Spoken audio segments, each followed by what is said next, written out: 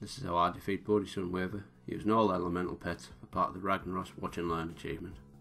In your first slot, an Ash Stone Core, with Feedback, Stone Skin, and Crystal Prison.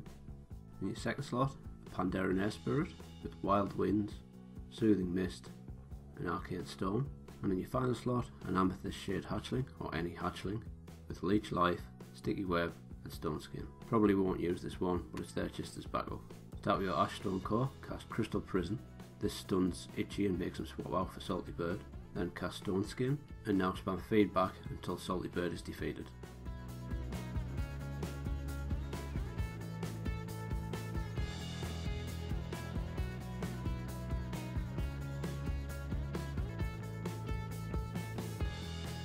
We need to have Crystal Prison off cooldown when Salty Bird is defeated, as we will be using this again on Itchy. So if you will defeat Salty Bird before this, instead of using Feedback, cast Stone Skin instead, and then Feedback to finish him off. When Salty Bird is defeated, Itchy will rejoin the battle. Cast Crystal Prison to stun him again and make him swap out for Grommet. When Grommet joins the battle, cast Stone Skin if it's not active, and refresh this at one round remaining, otherwise use feedback until Grommet is defeated.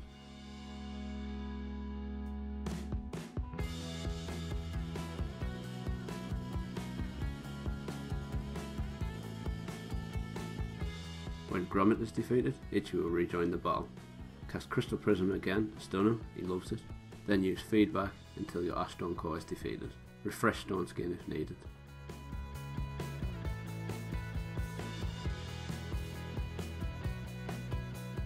Once your Ash Stone Core is defeated, swap in your Pandaren Air Spirit and cast Wild Winds until Itchy is defeated. If you get unlucky with some bad RNG, bring in your third pet to finish up the fight.